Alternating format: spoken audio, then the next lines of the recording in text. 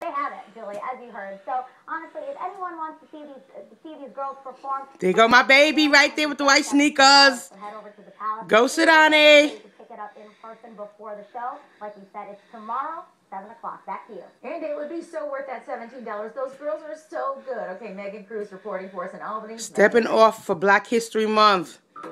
Go ACCS. Collision Repair Centers.